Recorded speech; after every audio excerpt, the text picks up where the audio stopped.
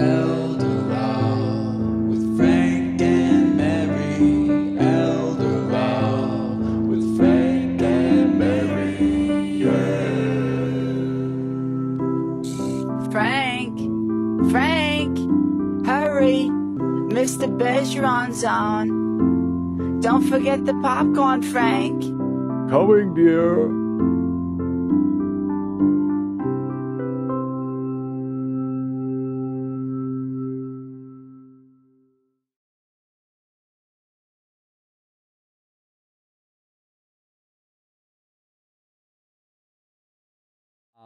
Hello, and thank you all for coming uh, to the second of the two-part series that we're doing here at the Holliston uh, Senior Center at the Council on Aging.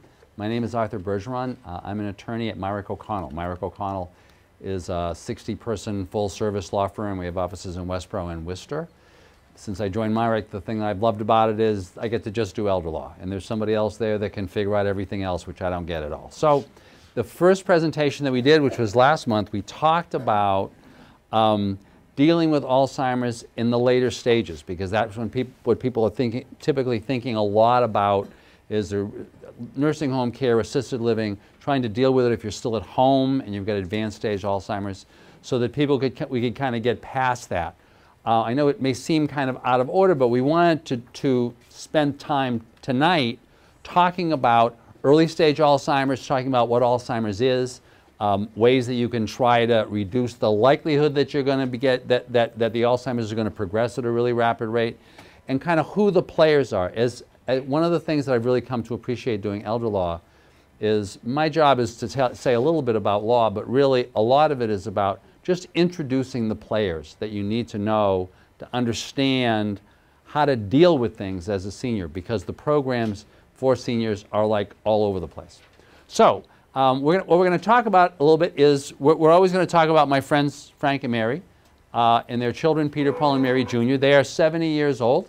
Uh, they have a home here in Holliston that's worth about $300,000. Not really like really big, but the mortgage is paid off. He's got an IRA worth 150,000. They've got an annuity of 100. They've got bank accounts worth about 75. So they have total assets of about $625,000. Um, he has Social Security income and a pension, so he's making about $2,000 a month. She is getting half of his Social Security check, or 750 a month. So between the two of them, they've got no big, they got no mortgage. They're making about $30,000 a year, and they're going to be okay. They're going to be okay as long as they don't have some kind of serious health issue. Now, a lot of times when I'm talking to folks like that, and by the way, those are their children, Peter, Paul, and Mary Jr., and their goal in life is very simple. They want to die and be buried in the backyard. They've lived in this house forever. Uh, if one dies, they want to make sure the other one is safe, and they want to make sure that when the two of them have died, that whatever they have left over goes to their kids. I bet this sounds familiar, right? This I see a lot of people that this is basically kind of what their what their goal in life is. When when these folks are talking to me, because typically I start talking to people when they're about 65, they've, they've, they've got three issues on their mind. One of them is typically not death.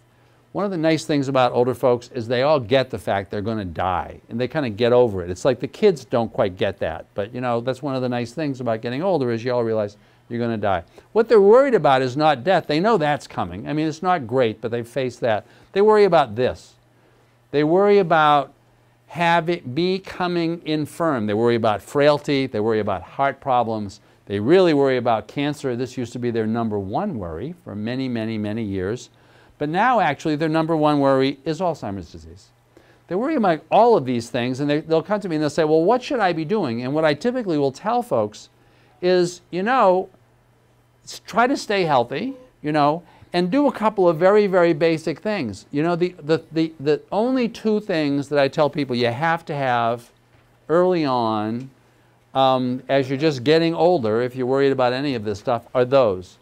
And we're going to talk about those a little bit later on, but you really want to make sure that you are sure that if you have become incapacitated, that there's somebody who can sign documents for you and make legal decisions for you and transfer assets for you, do all that stuff.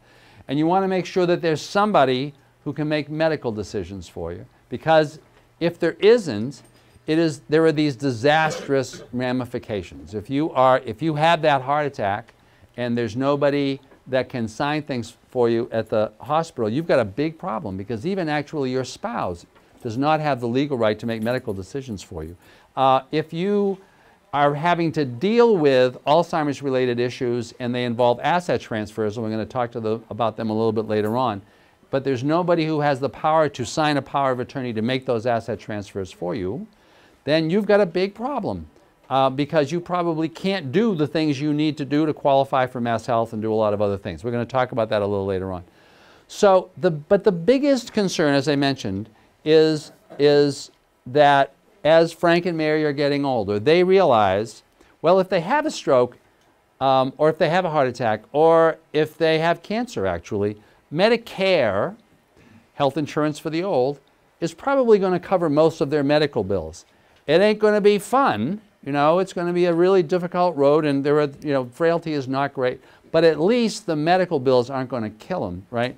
Um, Alzheimer's disease, though, is the hole in the Medicare system. Um, you can, because in order to qualify, in order to get Medicare to pay things for you, you need to need skilled care. They'll pay for chemotherapy and operations and all these things, but they're not going to pay for the cost of having somebody come to your house and help you get across the room or, or assist to make sure you're there, that, you're, that someone's there if you're taking a shower, because that isn't skilled care. So Medicare doesn't cover any of that, which is why so many people are concerned about Alzheimer's, both from the perspective of, of just personally having to go through a lot and also from the financial perspective. So what I've, I've asked, and, and when you're thinking about dealing with Alzheimer's or trying to figure Alzheimer's out, the most important thing you can do is take that information down.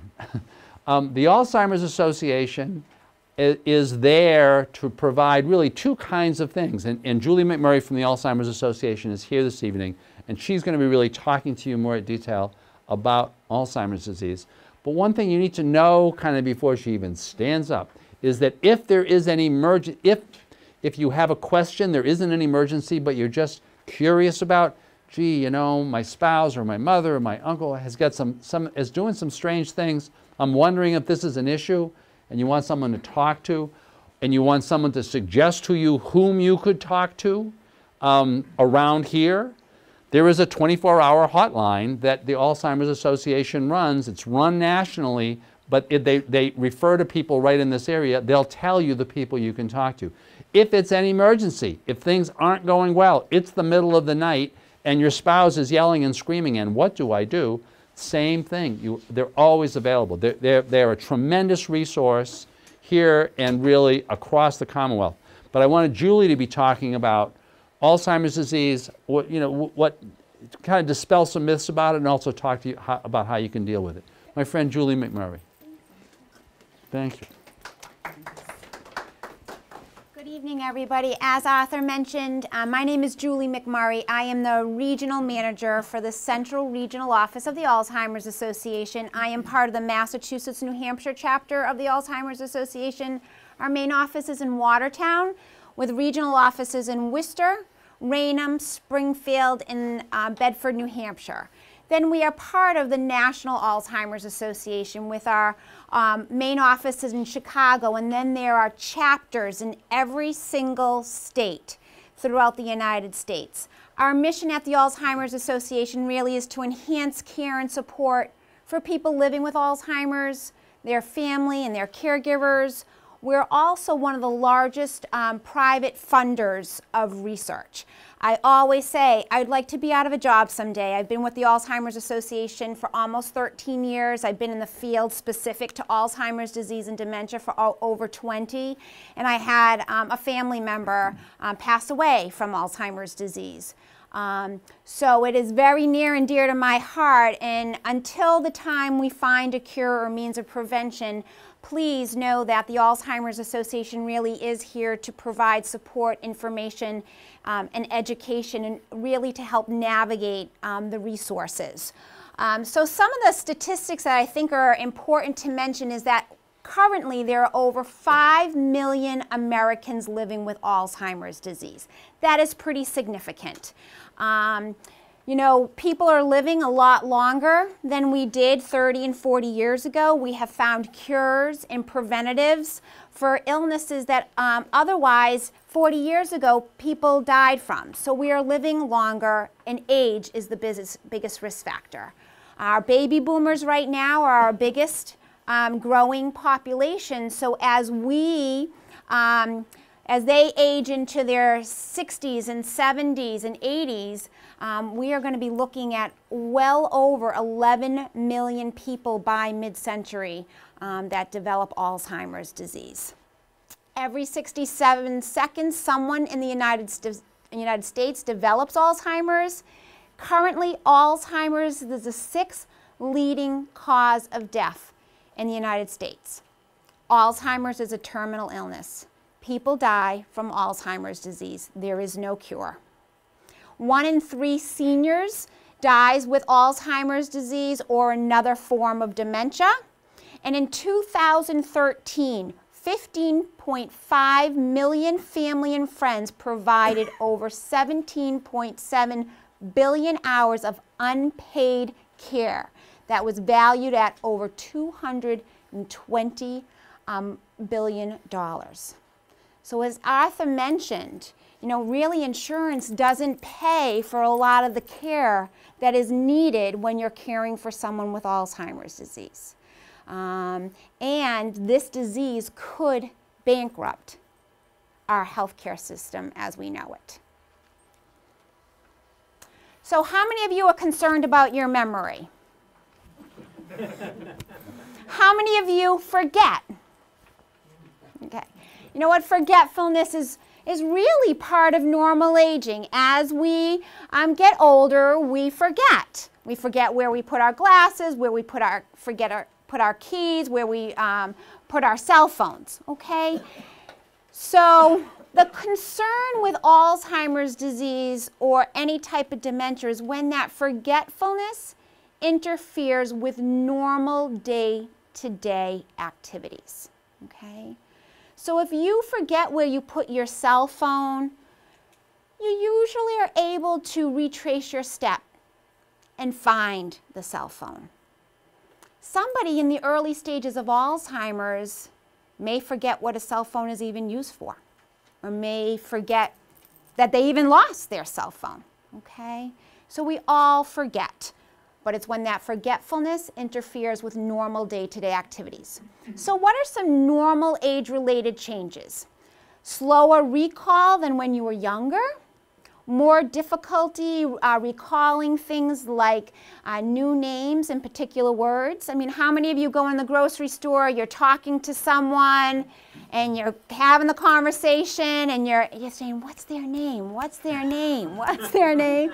You walk away and you're like, oh, that was Susan. You know, that's pretty typical, okay?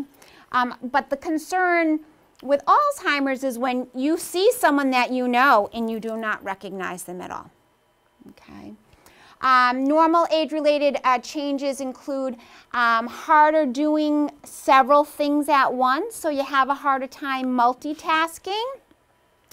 And you may have more difficulty overlooking unimportant information.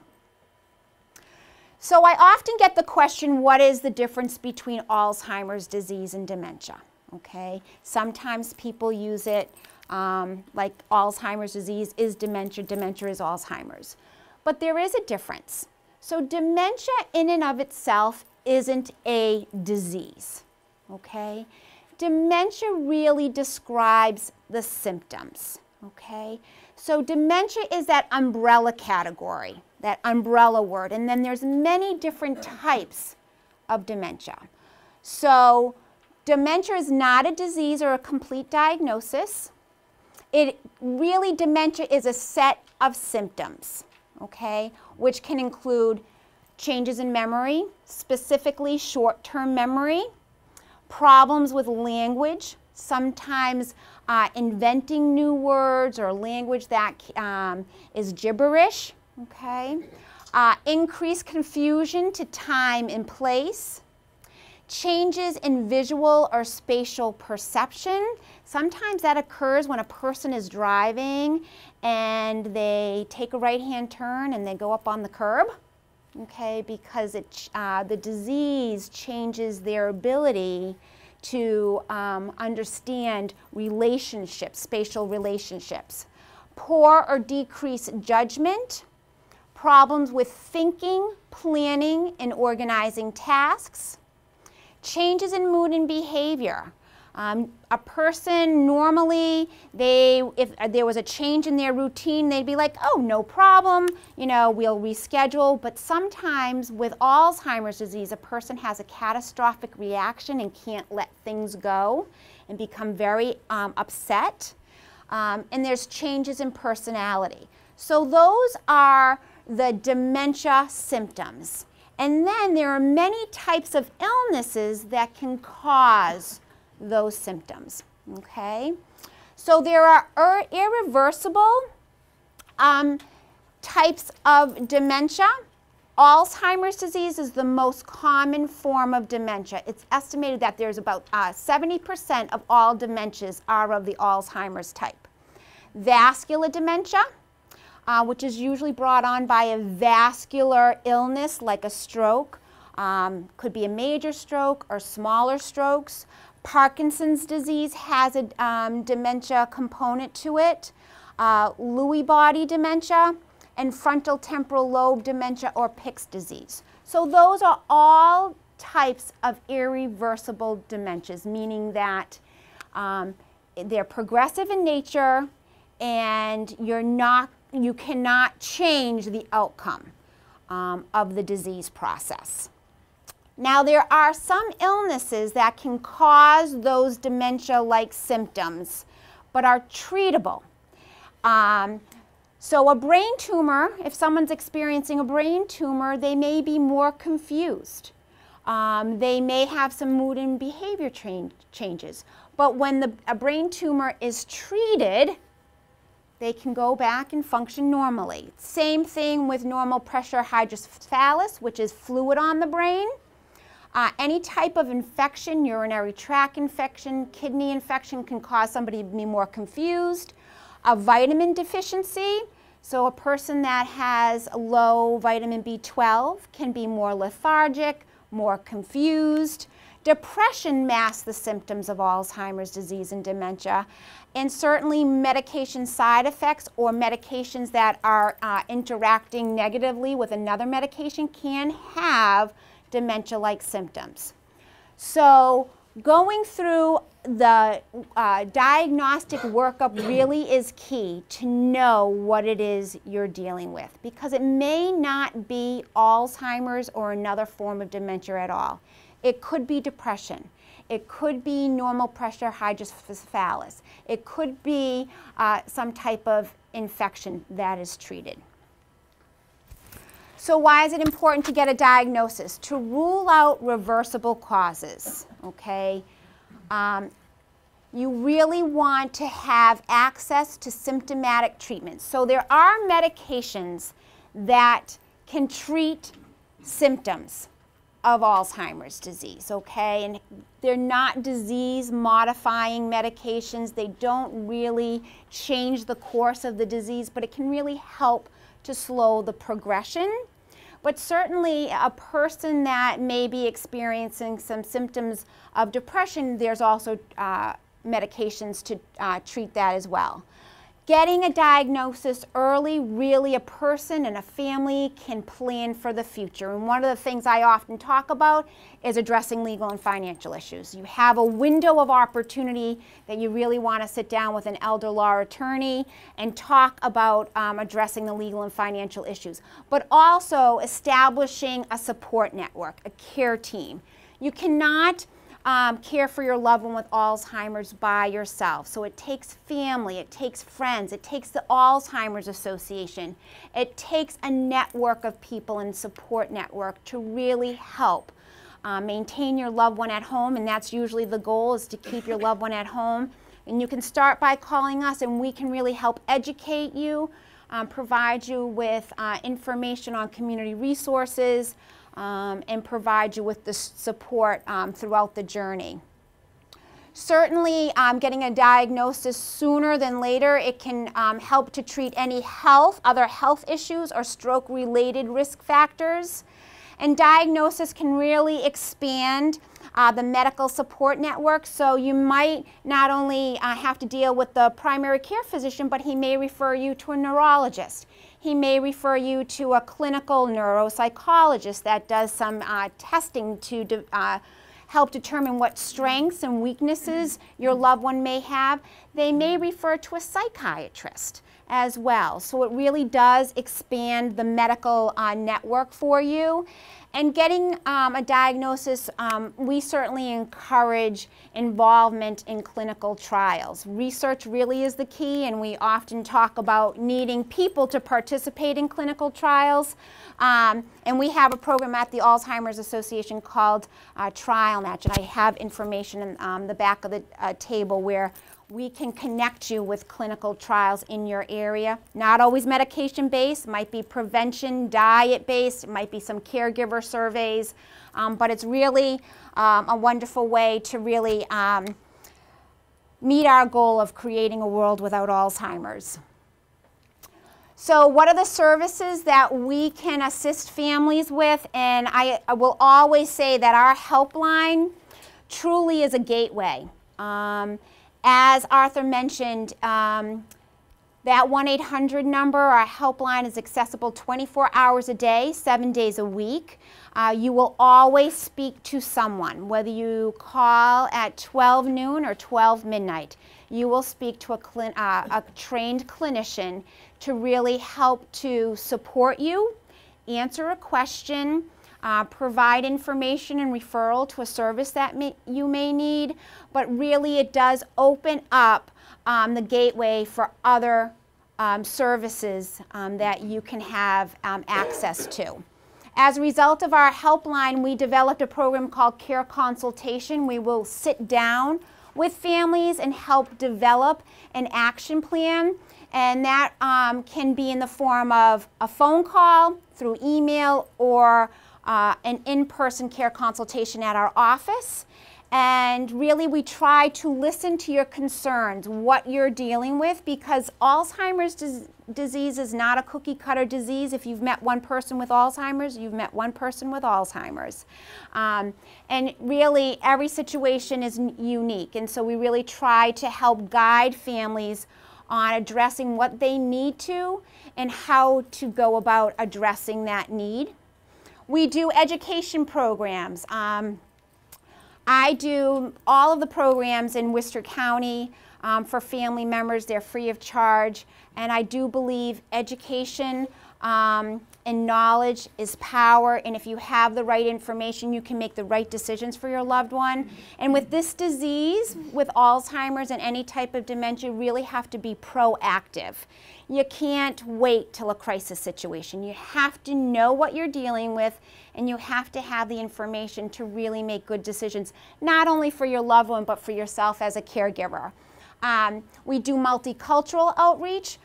We have a um, MedicAlert Safe Return Program, which is a Wanderers Alert System. People with Alzheimer's disease and dementia do wander. It's estimated that 6 out of 10 people with Alzheimer's disease will wander. The Safe Return Program was developed back in the 1990s with the United States Justice Department, and it works everywhere in the United States. So it's, um, you know, when somebody walks away from their home, the family calls us um, when they're enrolled in this program. We say stay at home, and we act as liaisons to getting local police, uh, first responders, uh, search and rescue teams out looking for your loved one. Support groups, we have over 225 support groups in Massachusetts alone for caregivers as well as um, individuals living in the early stages of the disease as well as um, individuals that have been diagnosed with young onset Alzheimer's which occurs before the age of 60. Um, we do a lot of public policy and advocacy work, both locally and federally. Um, we recently passed a law into place to making sure that nursing homes um, had standards of care. If they were to offer an Alzheimer's care unit, they had to have a certain amount of training for their staff, offer a specific amount of uh, programming um, to really make sure that there's good quality of care uh, for individuals in uh, nursing home setting. We did that about eight years ago um, for assisted livings. Um, and again, you know, we're one of the leaders in research, and our goal really is to create a world without Alzheimer's. Um, if you the end of this program, if you have um, any interest in becoming involved with the trial match program, please let me know, and I'll also be available um, to answer any questions. Thank you.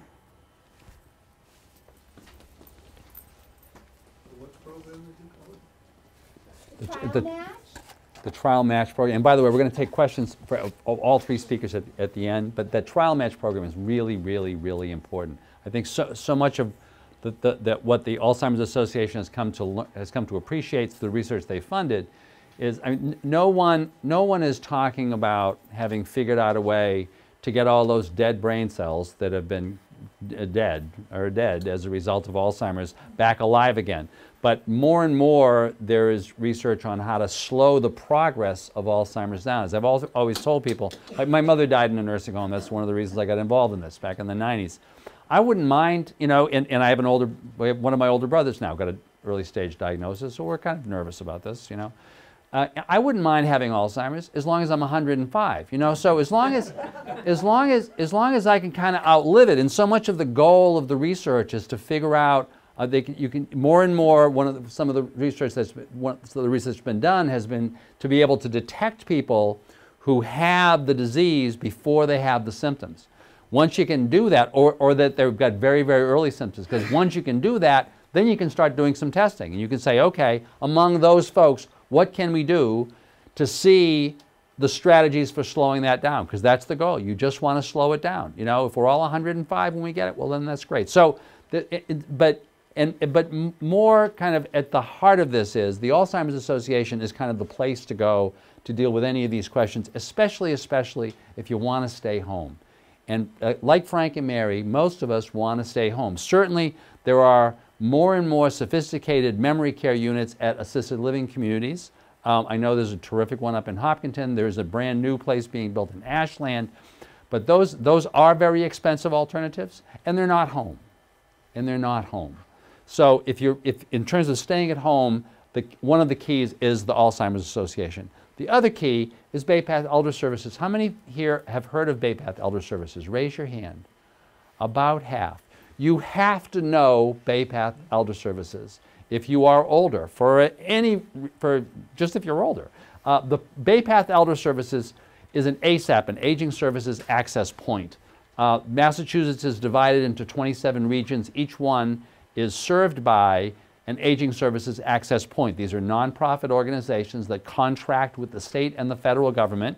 They're not there to sell you anything. They are your tax dollars at work, right? They're the place. If you if you call the Council on Aging because you've got you, you know you need home care, you're interested in Meals on Wheels, you need Lifeline. One of the things they're going to do is they're going to have you talk to somebody from Bay Path Elder Services about what your eligibility is, and that's kind of the, one of the big points of Bay Path. So you want to understand what Bay Path is, what Bay Path does. Dana Levitt from Bay Path is here to talk about some of those programs and especially programs that might that you might be interested in if you have a concern that you or your or your loved one may have early stage Alzheimer's. And then I'm going to talk a little bit more about those programs after she goes through them. But Dana Levitt from Bay Path Elder Services. Here you go. This button. Yeah, th- but I'm going to I'm going to give her my technology lesson. That's forward. That's back. That's all I know. That's all. That's all. Anything more than that, it, uh, it blows up. If you don't, that, that's forward and Oh, back. goodness. Okay. Good. Good. So hi, I'm Dana. I'm a case manager at Bay Path Elder Services. Um, so hopefully I'll do a good job. Um, oops. back. There we go. You got it. so Bay Path is an aging and disability. Um, we're resource specialists. Um, so we help with um, long-term services and supports and person-centered consultation um, to help you make the, uh, the choice to stay at home. Um, so BayPath, information and referral, it's just worth a phone call. Um, it's free. There's no charge to call us. Um, so, like Arthur said, someone from your local council on aging, if you have an in-home need, if you have something, if you're a caregiver um, and you know that your spouse needs something, or you know your um, daughter or son or your mom and dad need something, then um, it's free to call us. There's no charge to call us. Um, we'll tell you if you're eligible. Um, there will be a series of questions. Um, option counseling is another service that we offer. It's a short-term service. Um, we kind of help you guide through your long-term options to kind of see what the best fit is going to be for you. Um, home care program. Um, so that's kind of my area of expertise. But um, we provide services such as in-home companion. Um, if you just want to stay at home with someone and you're lonely, and you just want to read with someone for an hour, if you want to just talk, I want to go through my photo album. Um, if you want to play cards, if you want to go outside and take a walk, it's it's just one of the biggest things is that, that we hear of is that people are isolated, that they're home by themselves. And so it's just a nice, it's some comfort for your family, it's some comfort for, you know, your neighbors or other people that are concerned about you that someone is coming just to check in and say hi. Um, Adult Day Health, that might be another option and something that we can help you with. Um, again, so that you're not home for long periods of time, someone we can offer help with that. If you want to go to a, a, an Adult Day Health and get out, that's it's great. It's some respite for some family so that they're not worried about you being home by yourself, and then you're also getting that social socialization. You're with other people. Um, we call anytime. We know lots of wonderful facilities. Um, personal care. If you need help getting in and out of the shower. It can just be supervision. I know some people are just so scared. Uh, it's a it, you know it's an intimate thing, bathing. Um, so it can just be there to supervise you. It can just be there to wash your feet. Um, if you need assistance getting dressed or undressed, if you just come home from the hospital and you're still rehabbing an injury, this is something that we can help you with. Um, then we can help with transportation. If you're unable to get to doctor's appointments, we're able to help you. Um, if you need an escort, you know, we'll do everything. There's a transportation line that all you have to do is call, say the date of your appointment, the time of your appointment, where you're going, and then we, we do everything else for you. Um, so if you need an appointment, or if you need a, to go to the doctor, we will help you. Um, we have dementia coaching for caregivers. We have a wonderful caregiver program. Um, our caregiver specialist um, is amazing. Um, she offers training, support um, for you. It's one on one. If you need that extra time, they will call. Um, but we have trainings all the time. We know of lots of lots of events that are going on. Meals on Wheels, home delivered meals. Um, for some people, it could be their only meal of the day, um, and they're really they're large meals. They're delicious. I had my first one a couple of weeks ago. Um, it was really good, um, and they're really big. So some people eat a little bit for lunch, and then they eat a little bit more for dinner. Um, and I should say, homemaking is another is another huge service that people want. Um, they want they can't get to the grocery store anymore, so it's that one-on-one. You know, you can sit with an aide and you can say, "Here's what I like." You know, you can. It's not just sending them and hoping that they come back with the right thing. Um, you can really sit down with them, make sure that they're getting what you want. Um, they can do your laundry, um, light cleaning if you need someone to, you know, mop the floor for you. Um, if you need someone to change your bed, wash your sheets, we can do all of that. Um, we provide, um, I should say, so um, And, by, and how much does that all cost again? well, it depends. So it's going to depend. That's some of the first, yeah. Yeah. but, but, but not much. But not much. No, it could be as little as a voluntary copayment of nine dollars. So you don't even have to pay anything. So they'll look at, they'll ask you. That's part of. So you can call information referral and say, "I'm interested. I just want to talk about services."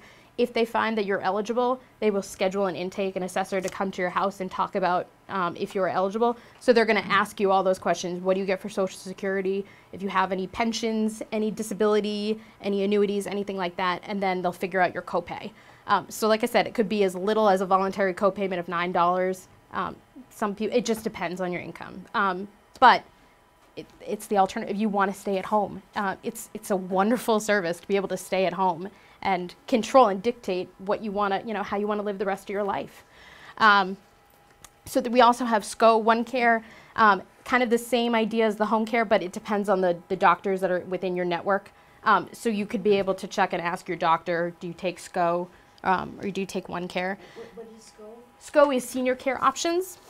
Um, so I can give you a little, I brought a little cheat sheet. Um, so you have to be age 65 or plus, and you have to be enrolled in a senior care option program, um, Medicare and MassHealth eligible, and you have to make sure that you reside in the SCO area. Uh, but they help with all the same things in terms of um, care management, homemaking, food shopping. Um, they use all the same vendors. It's just depending on the doctors if your doctor takes that insurance. So PCA and AFC. Um, PCA is personal care attendant. Also, you have to be on MassHealth, um, but you get to hire the worker. Um, so instead of um, some people, it could be you could be waiting sometimes with services. Um, you could be waiting to find an aide. So this is a good way that you get to control. This is who I want to come into my home. Um, so you get to go on care.com and find find the worker that fits you. So you're in control of that. Um, with AFC, um, that can be someone, it just can't be a spouse, but uh, same thing, you get to pick the worker. Um, so it could be a neighbor, it could be, Can it be a child? yes, it could be a son or daughter. Yes, yes. um, just as long as you're living with them.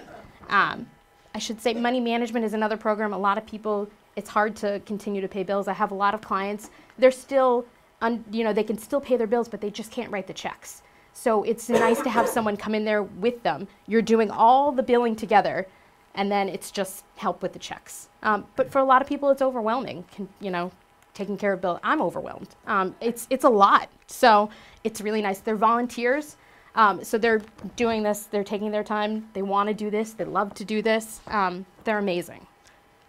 Um, so, like I said, the caregiver support program. Um, she's a, our new our caregiver specialist. Amazing. Provides support, resources, information, um, a lot of wonderful trainings, um, information. Um, if you need that one-on-one, um, sometimes it's just so much as like, "How are you?" You know, asking the caregiver, "How are you doing?" And that's just so nice for them to hear because it can be a lot to take care of someone. Um, so it's just that extra that cushion, that extra hug. Um, and so services are available to all caregivers, no charge. That's just part of our that's part of our service. Um, we also have some other services, um, elder community care. That's um, for some people um, in terms of if you need an extra someone to talk to. Um, someone from advocates can reach out to you, so that's nice for people. So what do we have to do, call you up to find out Yeah. how much you charge? Exactly, exactly. Yeah, call and see if you're. Free and which, Yep, and I brought um.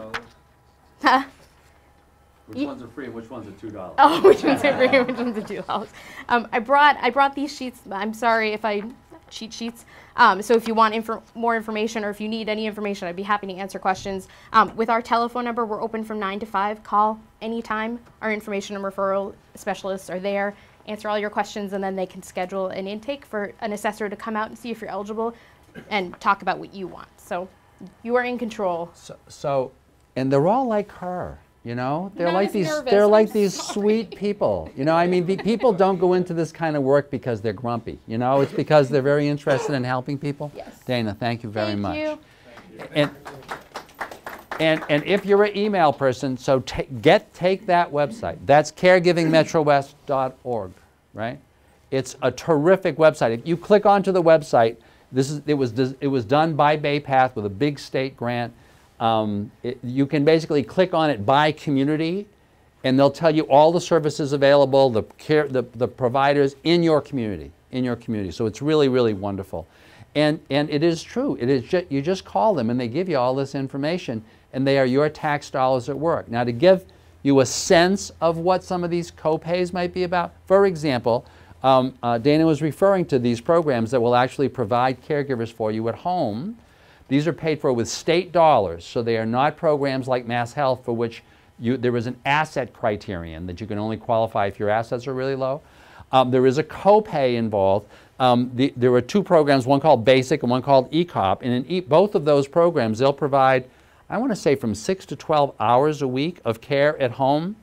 Now, if you're Frank and Mary and giving the incomes that, you, that they have, your copay for that would be about 100, I think it's exactly $101 per month, right?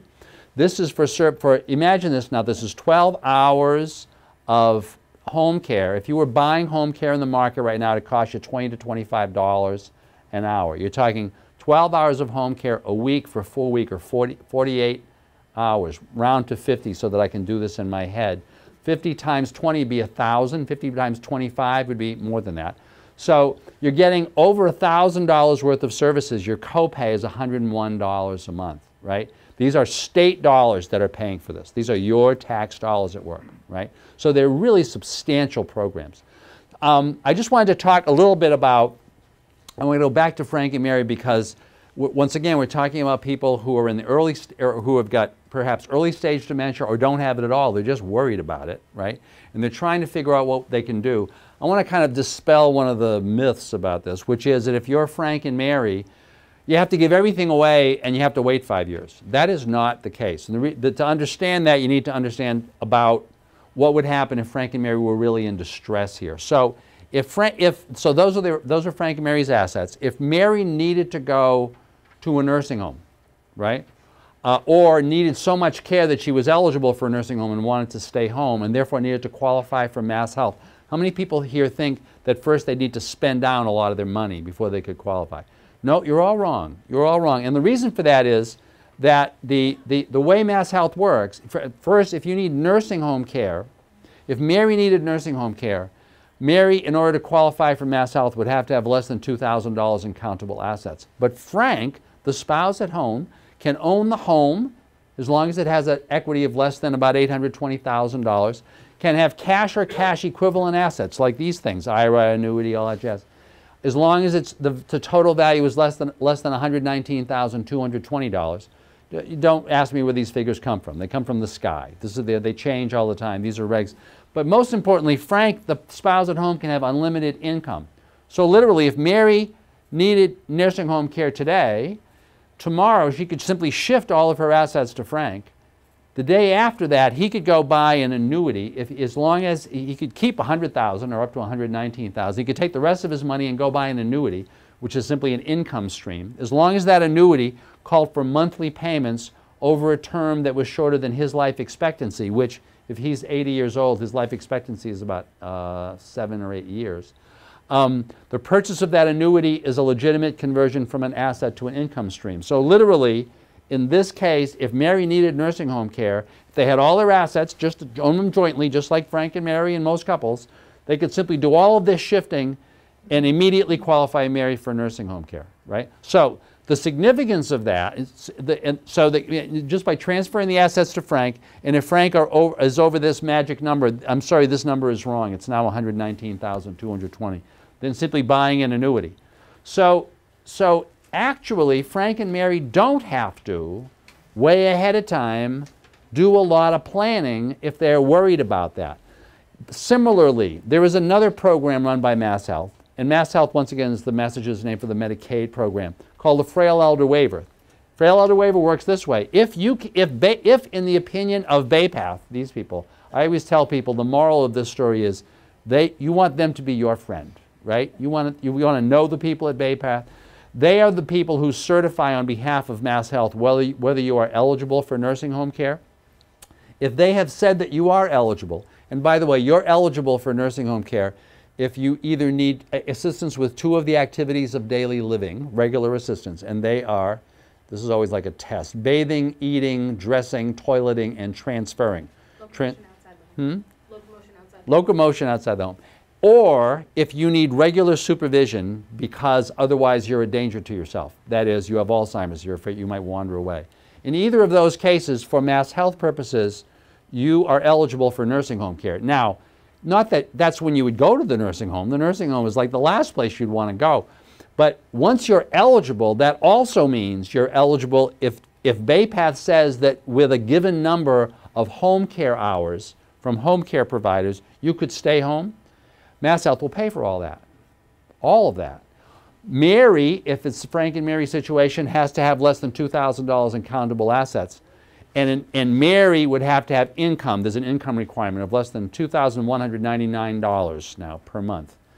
Um, but the point is, Frank's income doesn't get counted. And none of Frank's assets get counted. So in the Frank and Mary situation, if, Frank, if Mary wanted to stay home, and was otherwise eligible for nursing home care, she could simply shift all of her assets to Frank. The next day she qualified. Right? So you don't have to do a lot of this kind of long-term planning as long as Frank doesn't die. Right?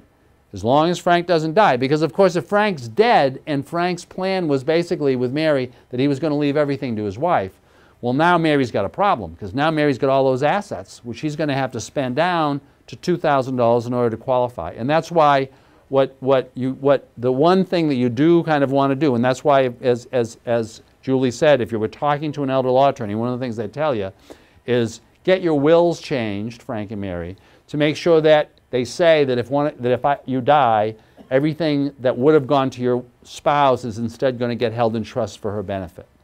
As long as the will says that, and as long as you own the assets at the moment of your death, your spouse is going to be totally protected. The other thing, though, that you're going to need, now I'm going back to the powers of attorney that I mentioned earlier. In this situations that I described, when Mary is getting incapacitated and wants to either qualify for MassHealth in the nursing home or at home, to do that, she has to shift all of her assets to Frank, which she can't do if she's incapacitated unless she's already signed a power of attorney giving somebody the power to do that on her behalf. I regularly, and I had this happen this week, I had this happen where a couple came in and they showed me the they showed me a power of attorney, but it was it was no good in Massachusetts. It had been done out of state, and they there is no way that they can shift the assets from the wife to the husband in order to qualify the wife for MassHealth without going through a guardianship process and a conservatorship process in the probate court, which is terrible. So for the for the this this what appears to be an insignificant document, power of attorney can really, really give Frank and Mary the power to do all of this stuff. Um, the only other thing I would mention is if Frank were, were dead and Mary hadn't done any planning, um, then the, the, in that case, and in that case only, if she wanted to be safe, and that's why Julie talked about the value of planning in advance, she would have to transfer assets out to her children, to an irrevocable trust, to somebody, and wait five years. Um, finally, if, if you thought any of this was interesting, but you can't remember what I said because I talked too fast, or, or you want to see Dana on TV again, and you haven't seen it on Holliston Cable, then you can check, uh, Frank and Mary actually have their own website. It's called Elder Law Frank and Mary, and you can watch this or any of the shows um, that we do. The goal, and, and finally, Frank and Mary also have a team. This is an ad for the Alzheimer's Association. I started talking about them. This is another ad. Their biggest fundraising event of the year is in September. Actually, October 4th this year. October 4th. Yes, That's Sunday, October glad I asked. Glad I asked. And Frank and Mary have a team that do that Alzheimer's walk. It's on, on they still on Sunday? Yep, Sunday at Quinsigamond Community College, but there are 11 walks throughout Massachusetts and New Hampshire. There's uh, pamphlets at the back table with information on our walk. You got to do it. I mean, if you you know if you've had somebody in your family who has had Alzheimer's problems, if you're worried about it, this is the future. It may not be the future for some of us because some of us are pretty old, you know. But for our kids, I mean, it may. It, I'm, probably too late for me already. But for my kids, you know, the future, as Julie says, is that we're not talking about this anymore because we've taken care of it. And the answer, the way that's going to happen is through the Alzheimer's Association. So, thank you very much. Any questions to any of the speakers or to me? Thank you. Oh, and that's the goal of all of this, to sleep well at night. Oh, the goal of life. You know, you get, you know, when you're younger, it was money and all this stuff. You get older, the goal in life is to sleep well at night. So hopefully this was helpful.